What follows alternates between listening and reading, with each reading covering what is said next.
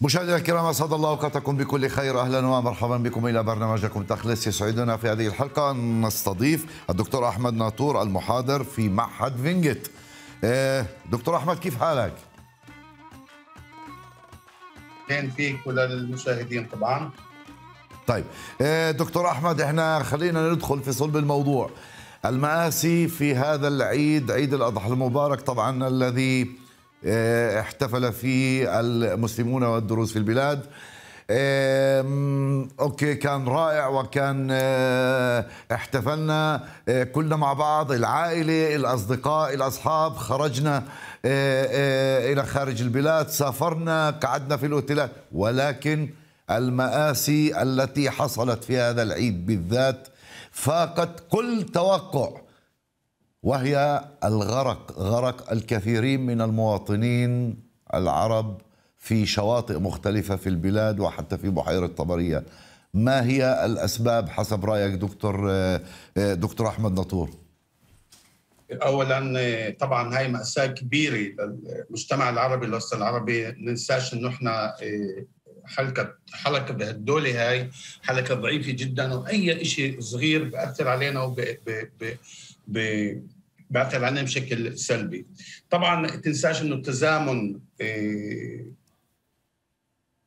العيد والعطلة الصيفية تتزامن مع شهر سبعة وشهر ثمانية اللي بيكون بهاي الأشهر اللي البحر آه، هائج البحر ملان حوامات وملان تيارات مائية اللي صعب جدا السباحة فيها. طبعا أشياء اللي بتميزنا إحنا بالمجتمع العربي آه، للأسف طبعا بدي أقولها وأشياء اللي فيها مشترك مش أشياء مشتركة بين حوادث السير مثلا للغرق لحوادث الغرق اللي هو الإهمال الاستهتار اللامبالاة عدم المعرفة وأسف بدي اتطرق للموضوع اللي هو اسمه عدم المعرفة أو قلة القيم اللي إحنا لازم أخذناها وإحنا أطفال في وزارة المعارف في- سلك التعليم.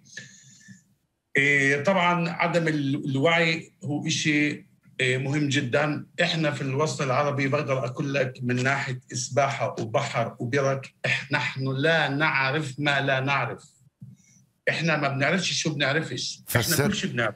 فسر تفسير. يعني أنا أنا حابب يعني إحنا أنا يعني شفت أنا بعرف الكميات كل شيء أنا ب... أنا بعرف كل شيء كل شيء نعم. بعرفه. نعم. حتى لو تحطني في الطيارة بطير الطيارة بمشيها أنا بعرف كل شيء آه هيك إحنا يعني حسب رأيك؟ آه إحنا هيك. بالضبط إحنا هيك. إحنا بنروح على- يعني قديش بيعطوا نصائح؟ قديش بنحكي بالتلفزيون؟ قديش بنحكي ببرنامجكم؟ قديش بنحكي في برامج أخرى؟ إيه يعني يا أخي المسؤولية الأولى والأخيرة تقع على الأهالي. ولكن أنا ما بدي أكسر في الوزارات المعينة اللي كمان شو بذكرها اللي هي كمان مكسرة فينا ب- بحقنا في وجودنا. في الأشياء اللي إحنا لازم آه، نتبعها. آه، الاعداد اللي غرقت في البحر بهذه الفترة هي أعداد كبيرة جدا. ما يقارب ال 137 138 حالة غرق. من اللي بداية كان فيها السنة. وفيات. من بداية السنة إحنا بنحكي. خلينا نقول بداية السنة لكن هسه اللي غيركم يعني عدد كبير جدا. إذا بناخذ النسبة ل 20% من سكان الدولة قديش النسبة العرب اللي غيركم بنلاقيه نسبة عالية جدا جدا. صحيح ف- صحيح. إيه، أوكي ف إيه، أنا يعني بدي أول شيء أقول إحنا إحنا إحنا ال ال ال علينا الحق. لا آه، دكتور أحمد دكتور أحمد أنا سؤالي بسيط. أنت أنت تلوم تلوم ال ال الأهل والأسرة ورب الأسرة. أوكي. عدم توعية نحن نعترف إنه في هناك عدم توعية للأسرة وحتى للأفراد في داخل الأسرة بالنسبة التعامل مع البحر أو البركة أو بحيرة طبرية. ماشي؟ ولكن أنا كرب أسرة أنا بدي أخذ زوجتي أولادي بدنا نروح على البحر. شو أنا كرب أسرة لازم علي أعمل؟ أول شيء أول شيء في عندنا شواطئ اللي هي مرخصة شواطئ اللي فيها منقذين شواطئ يعني بتكلفنا 50 شيكل 60 شيكل 100 شيكل يا أخي الدخولية يلا بيهمش الله يردك لكن لا أنا بدي أحكي لك إياها بصراحة يعني. في عائلات اللي معهاش توكل يا أخي مش بس تدفع ال 100 ومن 50 شيكل 200 شيكل. طب إحنا برضه متحفظين. أنا ما بقدر أخذ عيلتي مثلا أخذ قرايبي وأروح على بحر اللي هناك كلهم مشلحين وكلهم مشلحين. صحيح صحيح أنا مزبوط أنا أنا بحث بحث على وزارة الداخلية هون تتدخل وزارة الداخلية. أول شيء أنتم ما بنشوفكم إلا هبيتوا وحطيتوا إعلان بالتكشورت في ال في ال في الإعلام في وسائل الإعلام. في الإعلام. إعلان هيك خاطف ما حدا بيشوفه. وصعب الناس إنها تشوفه وتلاحق هذا ال ال الإعلانات تبعياتكم اللي بتقول احذروا من المي واحذروا مش عارف شو. يا أخي تعمل ليش هبات سريعة وتختفي عنا؟ أنت وزارة المع... وزارة ال... ال... الداخلية الداخلية. المسؤولة عن الشواطئ. أنتم ملزمين ب... ب... ب... ب... بالعلاج ملزمين بالحفاظ علينا وعلى سلامتنا. أنتم لازم تعملوا شواطئ مختصة فينا. سؤالي إيه. سؤالي أخي أخي أحمد أخي أحمد هل هناك تعليمات في اللغة العربية تبث عبر وسائل الإعلام المختلفة وتنشر في الصحف المختلفة للوسط العربي؟ في خفيفة جدا في لكن خفيفة جدا خفيفة جدا. المشكلة هي مش عربي وعبراني الكل اليوم بيعرف عبراني وبيعرف إنجليزي وبيعرف عربي. أوكي؟ فالمشكلة ما توقعش هون. يعني لو انكتب بالعبراني الكل بيقرأ عبراني. أوكي؟ بس أستاذي و... أحمد أستاذي أحمد أنا أنا يا رجل إحنا معنا معنا قاعدة أساسية في الإسلام. الرسول عليه الصلاة والسلام قال علموا أولادكم السباحة. علموا. طيب, طيب. طب أنا أوكي. ليه معلم ابني سباحة؟ هيك بدك تجبرني هسا أفوت لوزارة المعارف، أعطيني بس كلكم أعطوني. حتى واحد من وزارة المنصة المعارف لك دكتور أحمد المنصة لك أوكي أعطيني واحد من وزارة المعارف يجاوبني. انم المسؤولين عن تعليم السباحة بصفوف خوامس. شو المؤهلات تبعياتهم؟ انم الناس الموجودين هناك. انو اللي بدير هذا التعليم لصفوف الخوامس. تعرف قديش في أموال طائلة؟ يعني إيه خلينا نقول هذا اسمه تبذير. أنا بعرف رسمي إنه بفوتوا صف 36 ولد على البركة مشان نتعلم السباحة. بحياة دينك. وين المهنيه وين ال وين أنت بتحكي في الوسط العربي. الرقابي. هل هذا برضه ينطبق على الوسط اليهودي؟ يعني ابن صف خامس اليوم بيتعلم أحزاب مدرسة سباحة. في شيء من هالنوع في وزاره المعارف؟ الوسط اليهودي مضا يعني عنده إدارة تختلف نهائيا عن الإدارة اللي إحنا عندنا موجودة. إحنا يعني في عندك مقزار عربي اللي, اللي, القسم العربي. حفظ أنا بعرف شو بعمل هذا القسم العربي. حتى في كل مجال حتى يعني إيه إيه خلينا نقول اكتساب القيم أو أو التحذير أو التعليم أو الانتباه. اعطونا انتباه يا أخي. بلاش درس رياضة بلاش درس حساب. حساب إذا ما عرفتش اليوم تعرف اخر 10 سنين تعمل حساب مش مشكلة. بس في أشياء مهمة أولويات لازم نعملها. أعطيني وزارة المعارف تكون تحط لجنة مهنية وفي مهنيين في عرب إسرائيل اللي يقوموا ويعملوا هاي اللجنة ويعطوا إيه يعطوا حلول ل ل للوضع تاعينا في الوسط العربي. بسلك التعليم بسلك الرياضة. أنا يعني كموجه في في في الرياضه من من جهة كلية فينجت أنا بقدر بقدر أقول لك إنه لمست تقريبا 300 معلم رياضة كنت معهم باتصال وبعرف وين مشكلتنا بالضبط كمعلمين رياضة. يعني يعني بس وين إنه المعلم وين المشكلة؟ وين المشكلة؟ وين لمستها؟ وين لمستها؟ أحمد وين لمست المشكلة؟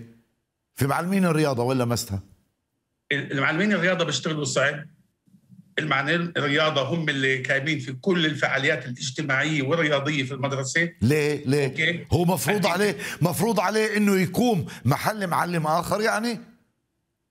إيه بقدرش اجاوبك على السؤال. أعطيني شيء ثاني بقول لك إياه. بقول لك انه إنه مثلا الولد لازم ياخذ حصتين رياضة بالأسبوع. في إيه، مدارس اللي عندها بس حصة واحدة. أوكي؟ وهاي الحصة لا تكفي. وين باقي الحصص؟ معطوطات لأشياء طيب. ثانية يعني اليوم في وزير جديده اليوم في وزير جديده وأنا آه، طبعا متفائل خير متفائل خير لانها هي أجت من المجال وهي دكتورانتت في في التربية والتعليم. شو أنت بتوجه شو بتوجه لها كلمه هل أنت برضه متفائل زي خير؟ بتوجه لها كلمة بحكي لها إنه يا وزيري بطلب منك تكوني مهنية للآخر.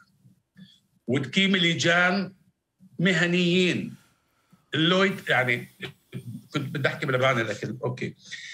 بصيرش إنه في معلمين مدارس اللي ثابروا وصاروا اليوم دكتورات يعني معهم دكتور ولحد اليوم بعلموا في المدارس. طب ليش ما أخذتوهم حطيتوهم بوظائف اللي هي مناسبة لهم اللي يقدروا يفيدوا المجتمع؟ أنا في عندي تقريبا عشر دكتورات بعلموا معلمين بسطاء محطوطين بالزاوية وخليكم بالزاوية وما حدا شايفه ممنوع طيب حدا تحكي عن مواضيع مختلفة. مواضيع مختلفة. طبعا أنا بحكي أنا بحكي عن عن بشكل عام. هسا بالنسبة لتعليم السباحة بالنسبة للسباحة أنا بفضل الوزيرة تقوم بإجراء فحص عميق لتعليم السباحة في الوسط العربي. كمان مرة بحكي لها افحصي فحص عميق عن طريق أيدي مهنية حتى لو إنهم يكونوا يهود بيكون حتى أحسن ومفضل لأنه فيش هناك حسابيات. الموضوع هذا التوعية للمي التوعية لرياضة المي التوعية للسباحة هو موضوع اللي هو آه، آه، خلينا نقول مصاب مصاب بأمراض كثيرة وفي هناك أشياء مهمة جدا جدا أنا كمهني يعني ما بقدر أحكي لك هنا شو أنا بشوف شو أنا بشوفش أوكي لكن النتائج الأخيرة بتدل إنه إحنا آه، يعني طاسة ضايعة خلينا نقول طاسة ضايعة طبعا وزير الرياضة وينك يا وزير الرياضة؟ خيلي هوبر وين أنت؟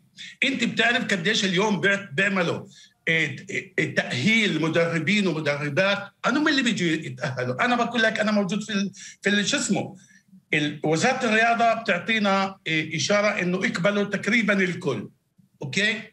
فيا أخي إحنا بدنا ناخذ نخبه من الناس اللي بتقدموا بدهم يصيروا مدربين رياضة. ويتبعوا القانون اللي متبع اللي هو بصيرش انت تخلص دورة مدربين تاهيل مدربين وما اشوفك إلا محمل باصين ثلاث وبدي اتعلم سباحه في طيب. عندك أحمد دكتور أحمد دكتور انت أنت دخلتني لموضوع اللي هو تأهيل معلمين مختصين خلينا نقول في الرياضة وبالذات في السباحة طيب أنا في موضوع أنا حابب برضه أفتحه معك. أنت بتعرف إنه اليوم في خريجين من من المجتمع العربي من مدينة من جامعة النجاح من من جنين من جامعة أبو ديس وحتى في الأردن. اليوم معهد فينجت قاعد بحط لهم حواجز على أساس إنه مشان يعملوا دورات الاستكمال فينجت كلية فينجت كلية فينجت وسيمينار كيبوتسيم. كل هاي بتطلع عليهم كأنهم إنهم جايين من من من من كوكب آخر وبتعيرهم مش انتباه. وبالذات وبالذات اللي خلصوا اللي أنهوا دراستهم. وعلى فكرة أنا قمت بزيارة لكلية الرياضة في جامعة النجاح وهي تضاهي التعليم في في في كلية فينجت تضاهي وأنا أتحدى كمان وأنا بقولها عن معرفه تامة. ليه بتطلبوا منهم؟ إن كان معهد فينجت إن كان سيمينار إن كان أوهالو بتيجي بتطلبوا منهم كل هل هل هل, خلينا نقول هالشروط بتضع الشروط التعجيزية. ليه بحطوا لهم؟ مع العلم إنه هناك في عندهم مدربين سباحة كمان. يعني مخرجين في في دورات دورات سباحة. تفضل أحمد. أوكي. أوكي. أول شيء أنا كتبت مقالي في جريدة هارتس قبل كم سنة. وبحكي بالضبط عن هذا الموضوع. ليش ليش أنتم يعني ليش العرب بيطلعوا يتعلموا برا البلاد؟ ليش العرب بيطلعوا بيطلعوا بيطلعوا؟ اليوم حطوا لنا امتحان طبعا للطلاب اللي هو يعيل. يعيل آه، امتحان بالعبراني بمستوى مش بسيط مستوى عالي. وسألتهم ليش أنتم بتحطوا هذا اليعيل؟ حتى اتصلت لمؤسسه آه، ل ل ل شو اسمها؟ مكتب التعليم العالي مجلس التعليم العالي. آه مجلس التعليم العالي. فالجواب كان تايو يعني كيف بسموها إيه، سحبوا من جيبته هيك. بعرف إنه في نوع من العنصرية عفوا في نوع من العنصرية. طلعوا ما بيقدروا يقبلوا اليوم إذا بتأخذ فينجت مثلا ما بتقدر تقبل ال 200 طالب اللي تقدموا لها تقبلهم كلياتهم. طبعا بس مع العلم إنه في نقص في نقص في معلمين الرياضة في جميع المدارس العربية. وأنت بتعرف أحمد مزبوط ولا لا؟ في نقص في نقص. على على على تصديق لكلامك إنه اللي بيجوا من من اللي متعلمين في جنين ومن الأمريكية ومن هون ومن أبو ديس أنا بعلم في عندي تقريبا 60 طالب بيتعلموا في في كلية فينجيت بيعملوا شهاده الهراء إيه، من القدس. فأنا زرتهم كل أغلبهم زرتهم في القدس إيه، المستوى الأداء اللي عندهم هو مستوى عالي جدا. إيه، مستوى عالي جدا. يعني وبحكي لهم أنا يا ريت عندنا في المثلث مثلا أو في في الجليل يكون انضباط عند الطلاب بالشكل هذا وكلاتهم بيجوا بلبسة موحدة و وبيسمعوا بيصغوا للمعلم والمعلم عنده كفاءات عالية. يعني هل أنا أنا أنا رايح أسمع من أحمد مطور قريبا إنه أنت هناك رايح تعمل على الموضوع أمام معهد فينجت إنه الطلاب اللي بتخرجوا من نابلس أو من جنين أو من الأردن أو من أبو ديس إنه معهد فينجت حط لهم تسهيلات معينة؟ كمان كمان مرة إحنا إحنا هناك ما بيقدروا فينجت يقبلوا ال 200 طلب اللي بيخلصوا بتقدموا لهم لأنه المشكلة بدها تنحل مش في فينجت المشكلة بدها تنحل بالمعادلة المجلس للتعليم العالي. هاي وحدة. اثنين بوزاره المعارف. وزارة المعارف طيب. لازم تعترف في الشهادات اللي بتيجي من برا ومجلس التعليم العالي لازم يعترف في المواضيع اللي تعلموهن أحمد في أحمد ناطور آه، آه، خلينا نقول الزوم قارب على الانتهاء. طبعا الموضوع شائك. شكرا لك شكرا لك. ونلتقي قريبا دكتور أحمد ناطور. شكرا لك وللمشاهدين شكرا, شكرا لك آه مشاهدينا الكرام تعالوا وإياكم. طبعا ننتقل إلى عكا. آه معنا آه الشيخ عباس زكور عضو الكنيسة السابق ومستشار السياحة تطوير السياحة في عكا القديمة. كيف حالك أستاذ عباس؟ يا مرحبا أهلا فيك أخي. طبعا إحنا بدنا نقول لك كل عام وأنت بخير برغم انها جاي متاخره ولكن حياك الله. آه، آه، آه، أستاذ عباس إحنا شفنا في هذا العيد إنه خلينا نقول مدينة عكا والتجار في عكا وأصحاب المطاعم أصحاب المرافق السياحية خلينا نقول صارت في نوع من الانتعاش الاقتصادي. طبعا هذا نتيجة العيد. آه، إنه إخواننا من الضفة الغربية برضو شرفونا والبيوت كانت كلها بيوتهم. آه، أحكينا أحكينا عن الانتعاش الاقتصادي اللي حصل في في الأيام الأخيرة آه، عباس. حياك الله أخي. أول شيء كل عام وأنتم بخير. وانت بخير إن شاء الله. نهنئ جميع أمتنا في مشارق الأرض ومغاربها ونتأمل وندعو الله سبحانه وتعالى أن يعم الأمن والأمان والسلام كل أرجاء الأرض وأن يعيش الناس في أيام أعياد وبركات، الأعياد بركة ونحن في عيد الأضحى، هذا العيد الذي هو يؤكد على تحرير الإنسان، الله سبحانه وتعالى فدى إسماعيل عليه السلام بكبش عظيم حتى يقال ويؤكد لكل البشرية أن الإنسان لا يضحى به. وإنما الإنسان يضحى من أجله. نعم. فأخي الكريم أنا أقول يعني عكا بخير عكا بحمد الله تعالى بأهلها بسكانها بضيوفها الذين قدموا عليها قالوا كلمة واحدة وواضحة لا مكان لدعوات العنصرية والتطرف والمقاطعة سواء كانت من العربي ضد اليهودي أو من اليهودي ضد العربي عكا التي استطاعت أن تقهر نابليون تستطيع أن تقهر هؤلاء الغلاة هؤلاء المتطرفين من كل من أينما كانوا وأينما جاءوا كل أصحاب ذلك الصراخ وذلك الدعوه وتلك الدعوة إلى مقاطعة الآخر ومعاقبة الآخر من أجل أعمال آخرين هذا لا يليق بالإنسانية. فعكا مدينة عظيمة عكا مدينة ثلاثة آلاف سنة قبل الميلاد. عمر عكا خمسة آلاف سنة. هذه المدينة التي تذكرنا بالأبطال تذكرنا بالرجال تذكرنا بالحضارات تذكرنا أستاذ عباس أستاذ عباس أستاذ عباس أنا احكي لي عن خلينا نقول الأيام الأخيرة الانتعاش الاقتصادي ما بعد المواجهات التي حصلت في الفش أنتم كيف آه، آه، آه، كيف قدرتوا إنه تواجهوا هاي هاي الهبة العنصرية اللي كانت ضد التجار العرب في عكا؟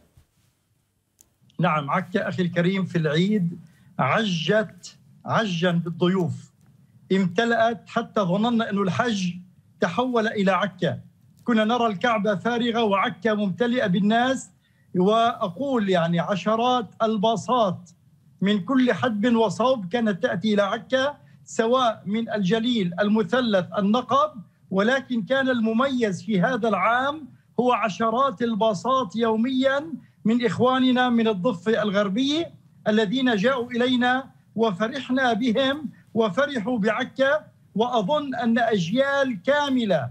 آه، لم تعرف هذه المدينة من قبل حيث ولدوا بعد الحصار ولدوا بعد آه، الحروب ولدوا بعد إغلاق البوابات آه، أمام أبناء شعبنا للوصول إلى بلادنا الحبيبة المباركة. فكان عندنا عشرات الآلاف يوميا في مدينة عكا فبحمد الله تعالى انتعشت المدينة انتعش التجار ازدهرت المدينة وفرح أهل عكا بزوارهم كما فرح الزوار بقدومهم إلى عكا مع أننا حزنا حزنا شديدا آه، على بعض الأحداث التي أدت إلى غرق وموت بعض ضيوفنا سواء كانوا من من من نابلس أو من الناصرة حيث ماتوا غرقا.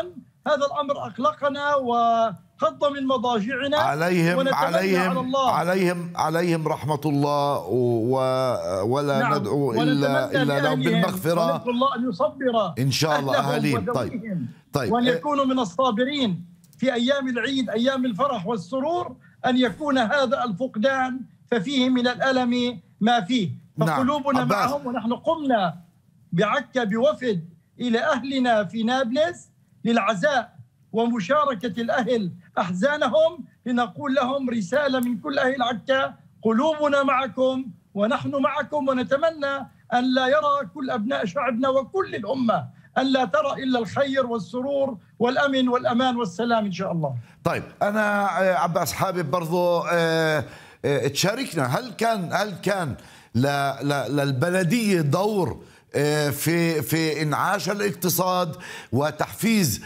السياح خلينا نقول المحليين للقدوم لعكا البلدية. أنا بحكي عن البلدية. نعم أخي الكريم أقول لك يعني نحن نحظى برئيس بلدية الذي يقدم الكثير لكل سكان عكا عرب ويهود على حد سواء. نحظى ببلدية فيها خمس أعضاء عرب ونائب رئيس بلدية عربي. جميعهم يعني ما تقدمه بلدية عكا في الأعياد سواء لأهل عكا أو للضيوف الذين يقدمون إليها لا تقدمه لا مجالس محلية عربية ولا بلديات عربية أو يهودية مثل مثل شو؟ تقدم مثل شو؟ مدينة عكا من العطاء والتحضيرات والترتيبات والتجهيزات. أخي الكريم أقول لك الذين يقدمون إلى عكا يحتاجون إلى تنظيم دولة تقف على رأسها لتقوم باستقبال هؤلاء الضيوف كما يجب أن تستقبلهم. ولكن البلدية طبعا لم تقصر مع الناس طبعا الزائرين الذين قدموا من عكا. خلينا نقول من ارجاء من أرجاء البلاد إن كان من النقب إن كان من مثلث إن كان من الجليل لم تقصر إنه في إعطاء المخالفات العشوائية كمان. أخي الكريم أنا أقول لك نحن يعني كل إنسان ينزعج عندما يأخذ مخالفة ولكن كانت كل مواقف المدينة مجانية والمخالفات فقط المخالفات فقط آه، لمن آه، آه، يقف على الرصيف أو يغلق أبواب السكان. وكانت تنبيهات كبيرة وواضحة أنه لا توجد مخالفات وكل عكا مفتوحة ومهيئة لاستقبال الضيوف أوكي ولكن خلينا نقول أنت بتحكي لي عن مواقف السيارات المجانية، مواقف السيارات معدودة، يعني ما بتقدر اليوم مواقف السيارات في عكا إنها تستقبل الكم الهائل الذي دخل لعكا، إحنا بنحكي عن الحافلات أو المركبات السيارات. ولكن هناك ناس اللي ما لقيت موقف في في المواقف المجانية أو المواقف حتى اللي بيدفع فيها فاضطرت هي إنها توقف على ال على ال على الرصيف. هون أنا بحكي لك عن مئات المخالفات. شو رايحين تعملوا في هذه المخالفات؟ أخ عباس.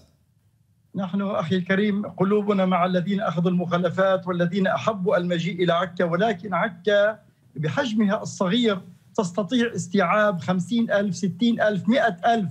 كان يقدم حسب تقديرات الشرطة في اليوم الثاني والثالث.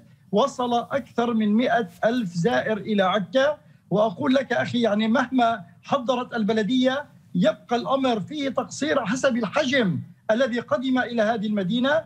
تساعدنا بقدر المستطاع لتهيئة المواقف وهي كثيرة المواقف المجانية في عكا. ولكن طبعا الأعداد كانت هائلة. فوجئنا كما قلت لك أخي الكريم بعشرات الحافلات الباصات يوميا التي جاءت إلى عكا. لم يكن هذا بالحسبان. كنا يعني يأتي باص باصين وغالبا في الأعياد لم تكن مفتوحة. أخ عباس أنت فتحت نفسها هذا. إن دل على شيء يدل على كرم أهل عكا. وخلينا نقول كينونة مدينة عكا آه، في قلب كل عربي موجود في البلاد أو موجود في الضفة الغربية أو موجود في نعم. في في في سائر العالم العربي.